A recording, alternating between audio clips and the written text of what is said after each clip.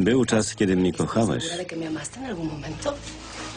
Jedyną kobietą, którą pokochałem, jest Elena. Wątpię. Chwilę temu byłeś bardzo czuły. Nie kochasz jej aż No tak, skoro ulegasz pokusie. A Elena jest tak powściągliwa, że nie może was łączyć wielka namiętność. y Jak mężczyzna ma się oprzeć que kobiecie, obesidad. któremu się ¿A qué oddaje? Jesteście jak psy. Wystarczy puścić oczko i już głupiejecie. Zapomnij o takich wybrykach. Poniosło mnie, no ale więcej nie okażę vida słabości, więc zostaw mnie w spokoju. y Twoja strata. Cierp dalej, zanim pirania ci ulegnie. Za to ja mam cambio, którzy dadzą się za mnie pokroić. Życzę im powodzenia.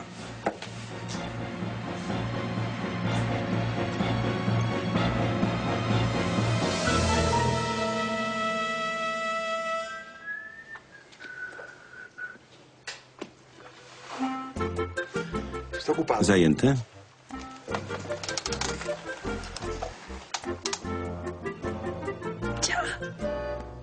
Przestań tak na mnie patrzeć.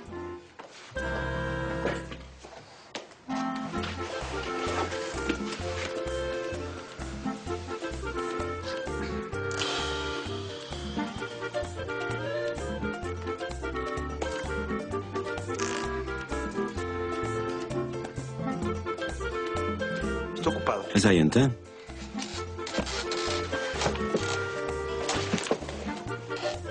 Jeśli będziesz za mną łaził, odejdę i niech cię zamkną.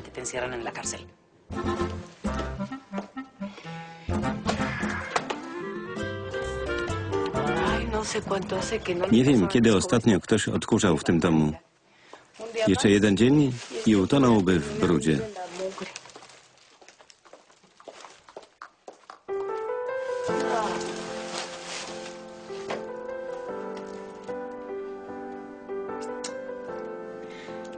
Mój zrzęda ma także swoje dobre strony.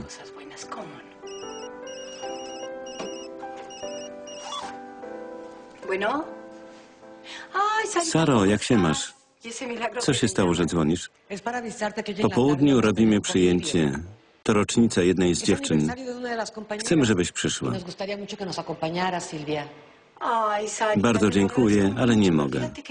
No. Chcę ponownie spróbować z moim mężem. Y no Nie wiem, czy wrócę, ale bardzo dziękuję za zaproszenie. Pozdrowienia dla dziewczyn. y. Cześć, buziaczki. gracias, besos. ¿Con quién estabas Z kim rozmawiałaś? Z kimś. No Nie mów, że masz adoratorów. A dlaczego nie? W twoim wieku? Kto by się za tobą obejrzał? Adoratorzy. No Nie dam się sprowokować. No Nie mogę dać się sprowokować.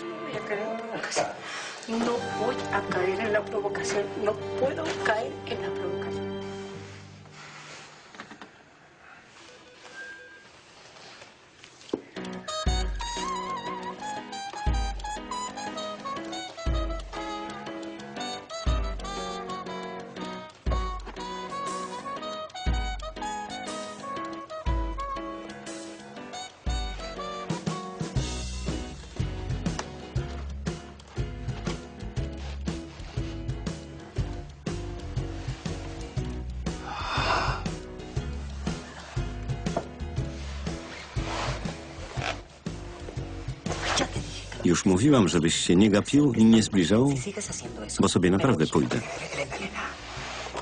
Patrzą na nas policjanci. Jeśli zwątpią, nie wypuszczą mnie. Wezmą odciski palców, zmarły zmartwychwstanie Dime, por favor. i będę miał problemy. Dla ciebie obdziłam sobie aktorkę. Odegrałam rolę życia. Robię dla ciebie aż za dużo. Nie oczekuj niczego więcej. Lo que hice por ti es más que suficiente. Ya no esperes más a mí. Policjanci czekają, aż się pogodzimy. Dobra, powiem, że ci wybaczyłam i po sprawie. Tak nie wygląda pogodzenie się. Potrzebują pocałunku. Jeszcze nie zwariowałam. Wiem, że to trudne, ale jak mnie pocałujesz, wyjdziemy stąd. Nie chcę. Jeśli się nie poświęcisz ostatni raz, ta świetna gra pójdzie na marne.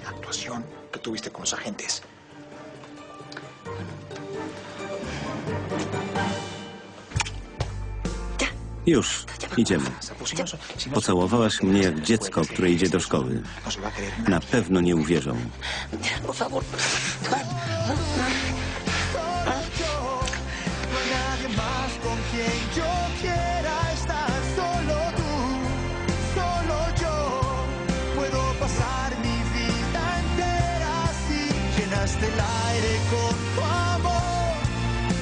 Tocaste mi alma con tu voz. Llenaste el aire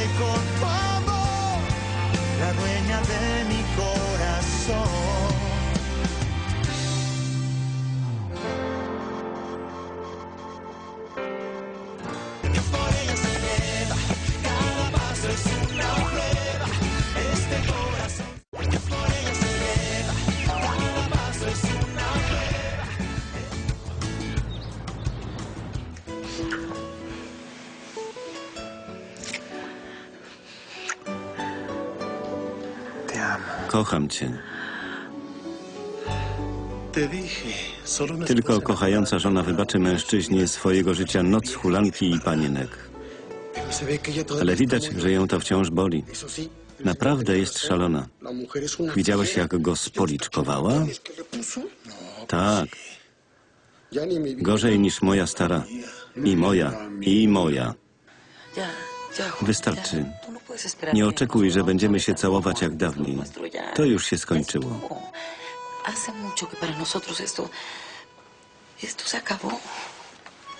Nosisz moje zdjęcie. I drugie, na którym jesteśmy we troje. Wychodzę za innego. Za mężczyznę, którego kocham. Jak uważasz? Juan. Noszę twoje zdjęcie, bo Lalito je tam włożył. Poza tym to tylko kawałek papieru. Jeśli ci to przeszkadza, porwę je. Nie zależy mi na nim. A o zdjęciu, na którym jesteśmy we trójkę, zapomniałam. Ty o niczym nie zapominasz? Jesteś taki doskonały? Byłoby mi przykro się go pozbyć, bo jest na nim Lalito. Ale jeszcze dziś je podrę. Zdjęcia nic nie znaczą. No. Jak chcesz, kochanie. No Nie zbliżaj się do mnie, proszę.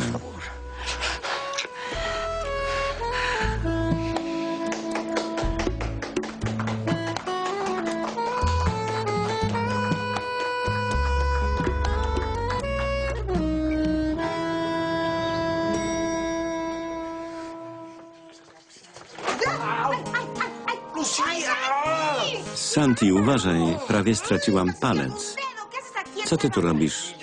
O to samo chciałem ciebie zapytać. Jak to co? Masz tak obcisłe rzeczy, jakbyś szła na imprezę. Czerwone buty? Nie, ja po prostu... A ty przyszedłeś pracować? Tak. I przekonać się, czy minie mi złość. Mogę ci jakoś pomóc? Przyjęliśmy zgłoszenie kradzieży dowodu osobistego. Proszę pana, czy pan mnie słucha? Oczywiście. Zgłoszenie pana Peresa Escudero Contreras-a. Tak się właśnie nazywam. Dziękuję. I proszę być dobrym dla żony. Pani kocha pana, więc niech pan nie ryzykuje. Takich kobiet ze świecą szukać. Wiem. Powinien pan być szefem wydziału. I przyrzekam, że od dzisiaj wszystko będzie inaczej. Kochanie, przed stróżem prawa Jak pan się nazywa? Gisar. I przed świadkami, Yo te obiecuję, że między nami wszystko się zmieni. mi. Jasne, skarbie. Mi Pokażę ci, że jestem nowym człowiekiem. mi Kocham cię i dla ciebie zrobię wszystko. Ja te też cię kocham. Ty i nasza rodzina jesteście na pierwszym miejscu.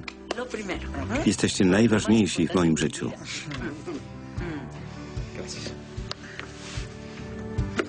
Bardzo dziękujemy. Wszystkiego najlepszego. Jest pan świetny. Proszę się dobrze prowadzić. Niech żyje rodzina, niech żyje miłość. Niech żyje wszechmocna miłość. Wytłumaczysz mi w końcu, czemu się upiłeś? Kompletnie cię nie rozumiem. O co chodzi? Nie byłem pijany. Kilka kieliszków wina. Czekałem na ciebie, a ty powiedziałaś, że nie chcesz mnie znać. Ach, więc to moja wina. Odreagowałeś hulając. Po prostu świetnie. Ostatnio mam zły okres. A od kiedy wiem, że chcesz poślubić Plutarka, jeszcze gorszy. Moje życie to piekło. Nie znoszę myśli, że on cię przytula i to, że mogli cię zamknąć, było tylko pretekstem, żebym przyjechała? nie. To prawda. A teraz pozwól proszę, że opowiem ci o wszystkim, co robiłem, żeby udowodnić swoją niewinność. No. Nie wiem, czy mogę ci wierzyć. Mówię prawdę. Kocham cię i chcę tylko, nie waż się mówić, że mnie kochasz.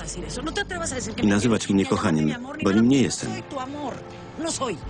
Kochanie, Eleno, jak sobie życzysz. Ale wysłuchaj mnie. Dobrze, ale najpierw muszę zadzwonić. Musisz się odmeldować narzeczonemu.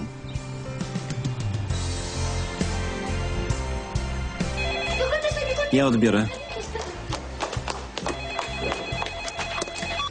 Słucham? Cześć, skarbie. Wszystko dobrze? Tak, kończymy w mojej sypialni. Mogę wyciągnąć samochody? Rozmawiasz przez telefon. Wracaj do swoich spraw i daj mi Lidię. Całuję. Chcę z tobą rozmawiać.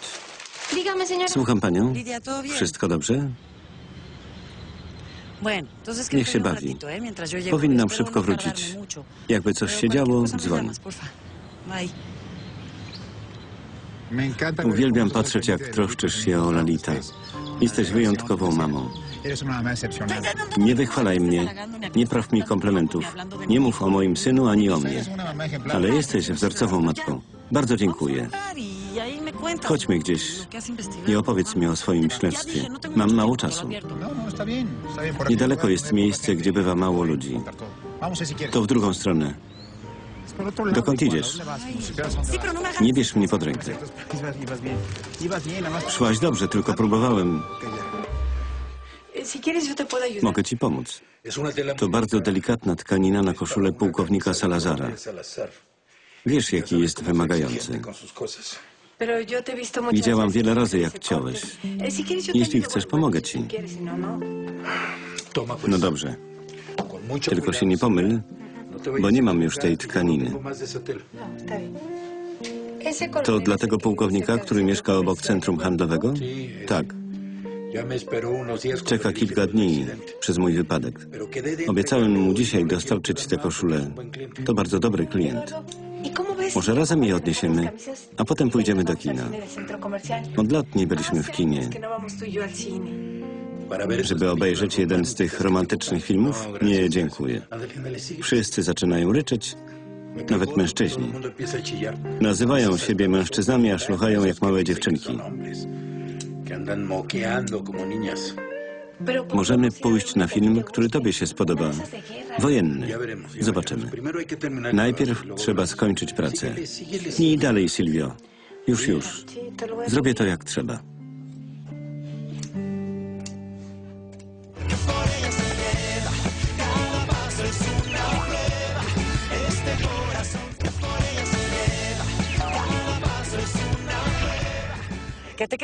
Daję ci szansę, bo masz prawo opowiedzieć swoją wersję. Nie przyszłam, żeby coś między nami naprawiać. Niech to będzie absolutnie jasne. Po ślubie innego. Między nami ma być tak, jak jest. Dobrze. Ya. Después de aquella Po zebraniu w komisji turystyki, na którym sądziłaś, że ukradłem ci projekt, Grupa Imperio no oskarżono mnie o oszustwo. 3 millones de dólares. Na 3 miliony dolarów. Pokazali Adrianowi fałszywe wyciągi z konta i podstawionego świadka, który mnie oskarżył. Poza tym ktoś się włamał do mojego konta. Estaba hackeada. ¿Pudiste guardar Masz dowód? Żadnego.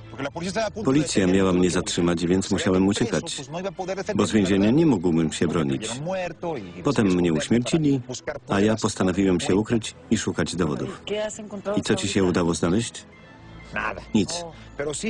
Wiem tylko, że przelali pieniądze na konto, którym zarządzałem, ale natychmiast je wyciągnęli. Chcieli kupić na moje nazwisko udziały w hotelu w Meridzie. ¿Y si las Kupili? No, no. Nie. Concretó. Pieniądze zostały wysłane do Nowego Jorku, do banku, którego nie znam. Ktoś to zrobił za pomocą fałszywych dokumentów na moje nazwisko. Kiedy zwracałem uwagę Angelice, fotograf na mnie naskoczył, a ona mnie wyrzuciła. Wszystko się we mnie zagotowało. Santi, uspokój się. Przecież wiedziałaś, że taka jest. To znaczy jaka? Bezpruderyjna, otwarta, po prostu taka. Już dobrze. Teraz ty mów, bo nie wyglądasz na radosną. Coś nie tak? no ¿verdad? Y, y Wyglądasz nieco dziwnie. To nie twój styl. No. No. Już ci mówię. Włożyłam to, bo Renato powiedział, że podobają mu się śmiałe, ¿Por qué no? odważne dziewczyny. No, gustaban No los i chciałam go zaskoczyć. ¿no? Pues. Y. Ucieszył się? No. Nie, Nie bardzo. w zasadzie wcale. cero. Ah, Ale kiedy pojawiła się Rebeka, stał się bardzo miły. Bronił mnie przed nią. To ujmujące? No. Nie Dime, bardzo, bo zawsze, kiedy zjawia się ta wiedźma, Renato staje się dla mnie bardzo miły. Mm.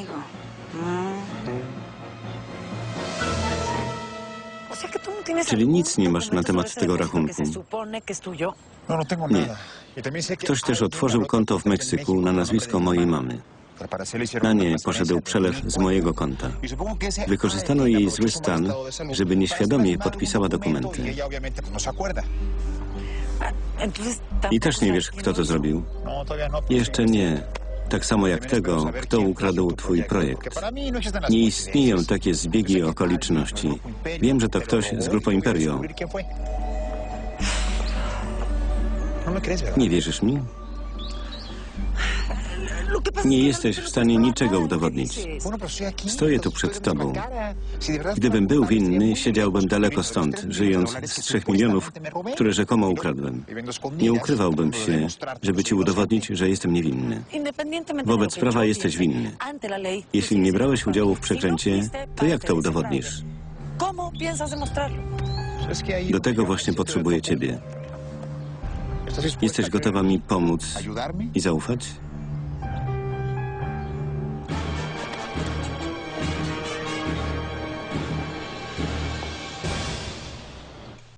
Dlaczego Renato tak się zachowuje?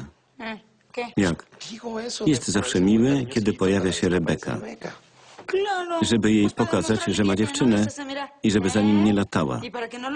Kto wie, do czego jest zdolna. Może i tak. Ale ¿no może jest odwrotnie. To znaczy jak? Cómo. Czułością wobec ciebie wzbudza zazdrość w Rebece. No. Nie, No, tak myślisz? No. Jeśli tak jest, to chyba umrę. no. Umrę, Santi. No, no. No. Naprawdę tak uważasz? No, no. Nie wiem, co ci no powiedzieć. No. Jestem pewien, że w głębi serca wierzysz w moją niewinność. No Inaczej zostawiłabyś mnie, żeby mnie zamknęli. Dlaczego zmieniłaś zdanie? Głównie przez twój upór. Ale też coś dziwnego dzieje się w Grupo Imperio, co skłoniło mnie do myślenia o twojej sprawie. Dowiedziałaś się czegoś o Plutarku? No, Oczywiście, że nie. no. Yo estoy Mylisz się co do jego osoby. On nie jest zdolny do oszustwa. Plutarco no sería capaz de hacer ese fraude. Ah, está bien. Mówiłaś o tym komuś? ¿Le dijiste a alguien más que estoy vivo? Sí, Tak. tengo una amiga Mam przyjaciółkę w Grupo Imperio, Eva Ewę María. Marię. Y a ella sí le Powiedziałam jej o tobie. Elena, Eleno, sobre eso... wolałbym... Si tú piensas Ewa que cię nie wsypie. te va a delatar y te Mam va do a niej pełne zaufanie. Ella es de To toda wspaniała confianza, kobieta. es una tipaza, es, es una gran... Tylko dzięki niej postanowiłam cię Y wysłuchać.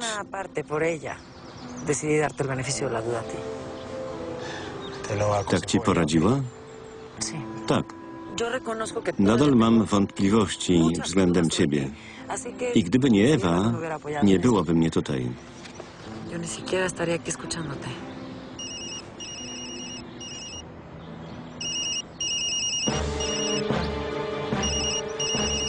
Odbierz, poczekam.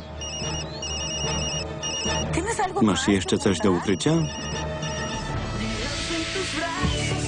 Wersja polska na zlecenie telewizji Puls Studio Acme. Tekst Agnieszka Wojciechowska. Czytał Janusz Kozioł.